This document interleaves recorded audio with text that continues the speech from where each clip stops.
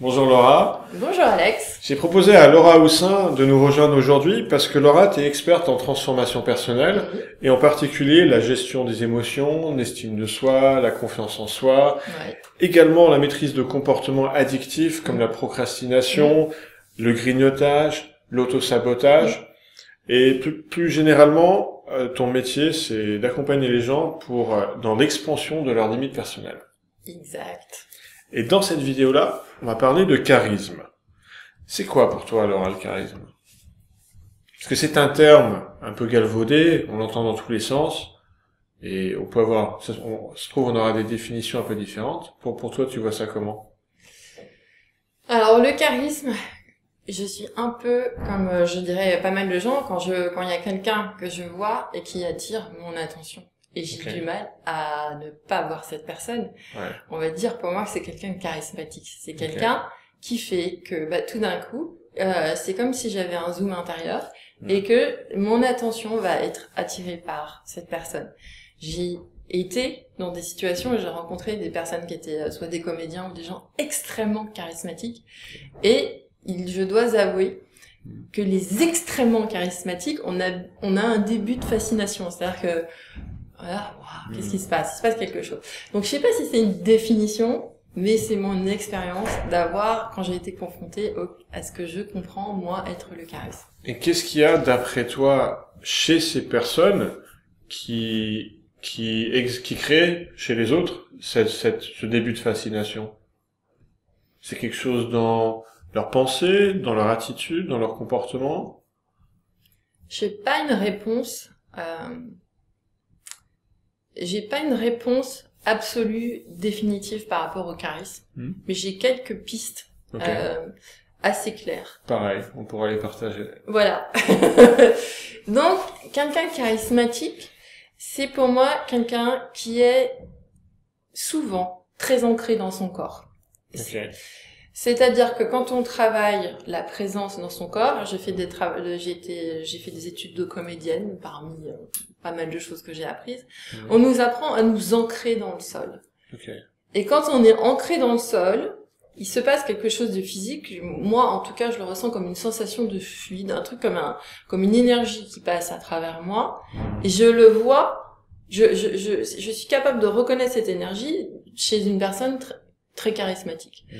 Donc, je pense que c'est juste avoir euh, euh, une, une détente et un ancrage dans le sol. Donc, c'est vraiment quelque chose de très physique. Ouais. Ça peut même être quelque chose d'assez animal. Ok. Il y a une, il y a cette partie-là. Alors c'est marrant, tu, tu dis que c'est très physique, et, et bien sûr, un, ancr- un ancrage dans son corps, c'est- par définition, c'est physique.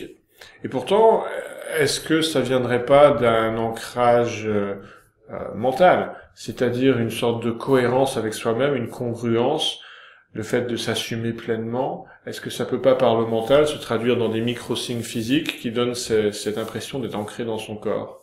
Alors, euh, on peut être très charismatique et pas forcément avoir euh, un mental, euh, je dirais, euh, parfaitement équilibré, aligné, etc. Pour Mhm. moi, en tout cas. Ouais. Et je pense qu'on peut penser à des exemples de personnes très charismatiques qui, dans leur vie ou dans leur comportement, ont montré que euh, ils n'étaient pas parfaitement équilibrés. Tu penses à quelqu'un, j'ai l'impression. Euh, là, je pensais à Johnny Hallyday. Ok. Euh, j'ai voilà, j'ai eu des échos de sa vie, etc. Ouais. euh, par un ancien voisin. Bon, cet homme-là, il, enfin, pour, pour moi, il était extrêmement charismatique sur scène. Ouais. Il avait quelque chose. On peut aimer sa musique, ne pas C'est aimer. Euh, il, a- il avait quelque chose. Et d'autres acteurs aussi que j'estime qui sont des, des acteurs qui sont Juste pour finir sur Johnny, sur, sur Johnny Hallyday, donc tu, tu dis qu'il est charismatique sur scène, bien sûr, Mm. euh, peu vont te contredire, et tu disais que c'était un contre-exemple à ce que j'avançais parce que il, il est un peu, quoi, peut-être pas le mot déséquilibré, euh, euh, ou torturé, ou je ne sais quoi. euh. Je me permettrai pas de définir Johnny. Non, mais moi, moi non plus, c'est pour ça que je suis pas à l'aise à donner Euh, ces mots. Non, mais pour moi, c'était pas Qu'est-ce qui te fait croire qu'il est pas congruent et cohérent avec lui-même bah, euh, l'addiction. parce que j'ai j'ai cru comprendre qu'il avait un, Ah qu'il oui, avait oui. euh, pas mal. comprendre aussi, ouais. Mais après, bon, c'est des bruits qui courent et on n'en Ok. sait rien. Mais si c'est le cas, en tout cas, ça, ça démontre Ouais, qu'il y a, qu'il y a, qu'il y a un, Intéressant, un j'entends. déséquilibre, un mal-être quelque part, parce que l'addiction n'est pas là par hasard. Ouais, ouais. Et donc pour moi, le charisme que j'ai vu aussi, c'est donc un ancrage physique, mais Mhm. aussi un ancrage mental. Mhm. Donc en général, c'est une capacité à se concentrer. Ok. Moi, enfin, de ce que j'ai observé, euh, je sais pas si vous avez déjà vu des acteurs, vous en voyez trois, l'un à côté de l'autre, et il y en a qu'un que vous voyez. Mais en général, c'est la personne qui est la plus présente, la plus présente à elle-même, présente dans dans, son corps, et c'est quelqu'un qui est extrêmement concentré. En fait, c'est un, pour moi, le charisme, ça vient aussi d'un certain type de concentration. Alors quand tu dis quelqu'un de très présent, ça veut dire qu'il a, il a peut-être moins de blabla de cette petite voix dans la tête que les autres? Oui. Ok. Oui, je pense que c'est quelqu'un qui euh, Mm. qui va être euh, oui, qui va être entièrement euh, soit il va être entièrement dans son expérience, Ouais. dans l'instant présent et il va pas être euh, pensé à demain ou à hier ou aux courses qu'il doit faire ou, ou à la dernière Ouais. conversation qu'il a eue. Effectivement. Et Ça, de- ça sonne très vrai, ouais. Euh, quand on est, je sais pas, par exemple, euh, dans un milieu social, dans une soirée, Oui. C'est, un, un milieu qui, pour beaucoup de personnes, peut être assez intimidant. Ils peuvent se sentir un peu imposteurs là-dedans.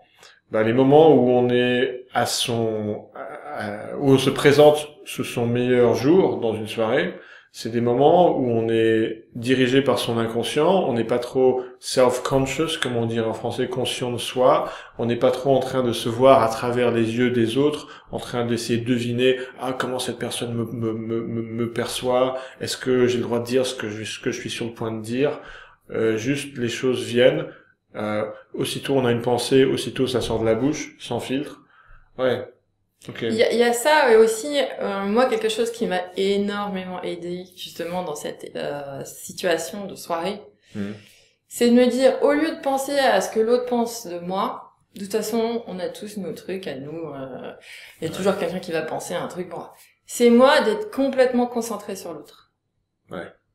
Et d'être à l'écoute, c'est-à-dire de me Jamais rendre- utilisé le mot écoute. justement. voilà, de me Ouais. rendre disponible et d'être à l'écoute. Ouais. Et quand je suis à l'écoute de l'autre, comme, comme euh, on peut pas être focalisé sur 36 000 trucs vraiment, Ouais. c'est difficile d'écouter son insécurité. Complètement. Donc moi, comme euh, j'avais un fond timide, je, si j'ai bien compris, un peu comme toi, Oui. eh bien, pour euh, remédier à ma timidité, j'ai joué ce jeu de je me concentre sur l'autre, comme ça j'entends rien de mon blabla intérieur. Ouais. Et je pense que ça euh, augmenté mon charisme aussi. Mm. Et mon impact sur le sexe opposé. L'air de rien. Indéniablement, et ça paraît facile comme ça, le, des, ce mot écouter, mine de rien. Mais c'est, mais c'est pas, c'est pas évident, et c'est quelque chose que j'ai appris à faire euh, quand j'ai fait ma certification de coach. Mhm. Parce que un coach, c'est quelqu'un qui est dans une posture d'écoute. C'est-à-dire, un, un coach, c'est pas quelqu'un de bavard. C'est quelqu'un qui d'abord écoute. Et je me suis aperçu qu'il y avait des répercussions dans le reste, dans le reste de ma vie. C'est-à-dire, dans une soirée, quand je suis avec quelqu'un, bah oui, je suis vraiment avec cette personne. Mm. Et ça veut dire que je suis pas dans ma tête. Voilà. Je suis avec l'autre. Et oui. Et c'est, ça change tout. Et du coup, c'est beaucoup plus facile de connecter avec l'autre. Ouais. Voilà. Complètement.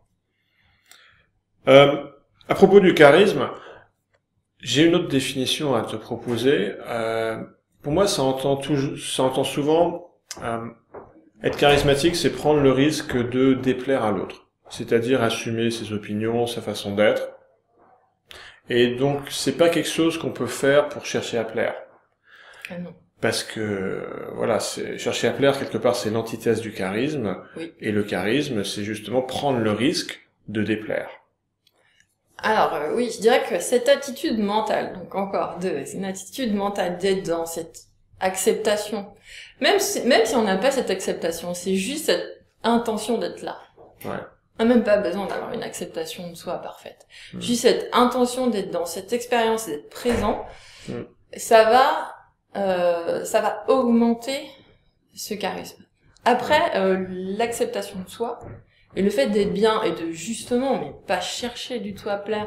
Enfin, si, y a une dualité là-dedans. Parce que souvent, les gens qui ont, qui ont du charisme, ils adorent plaire quand même. On va quand même, euh, La séduction est bourrée de paradoxes. voilà, ils adorent plaire, mais ils font, ils ne cherchent pas à plaire. Alors, C'est ça. c'est-à-dire que L'intention n'est pas la même. Non, ouais, ils adorent plaire, ils adorent qu'on les regarde, ils aiment bien, hein, ça ils aiment bien.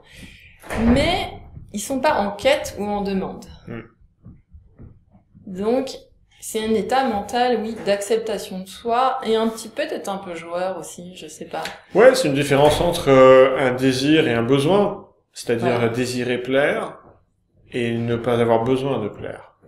J'ai envie de parler d'attachement émotionnel au résultat. Ok. Ouais. Ouais, ça me parle. et de dire que voilà euh, j'ai envie d'être charismatique dans le sens où j'ai envie d'impressionner quelqu'un si je suis focalisée là-dessus en général le moindre mouvement de sourcil de la personne en face ou quoi que ce soit ça va me rendre peut-être plus invisible parce que vraiment je suis pas là je suis complètement dans l'autre Ouais. donc c'est ça. Pour moi aussi, euh, le charisme, c'est c'est c'est pas justement être focalisé sur l'autre dans l'attente de recevoir une confirmation ou une approbation, mais c'est être déjà dans l'approbation de soi et la rendre un peu communicative. Voilà, avec un certain détachement émotionnel quant au résultat. Absolument. Eh ben, merci Laura. Pour ceux qui veulent en savoir plus sur euh, ton activité, tes, tes services, comment peuvent-ils te contacter ou en savoir plus? Alors j'ai deux options. J'ai une option en anglais Mhm. pour les personnes qui comprennent l'anglais et qui sont euh, qui ont envie de, de changer leur relation à la nourriture parce qu'ils s'aperçoivent qu'ils n'arrivent pas à s'arrêter de manger ou qu'ils mangent trop ou qu'ils ont une relation un peu déséquilibrée par rapport à ça. Donc ça c'est laurahoussin.com, laurahoussin.com. Et pour tous les autres thèmes que tu as indiqués au début de cette vidéo et en français, c'est laurahoussin.fr. Je mets les deux liens dans la description sous la vidéo. Merci, à Alex. Laura pour ta participation et pour ta présence et merci à toi de nous avoir regardés. Au revoir. Au revoir.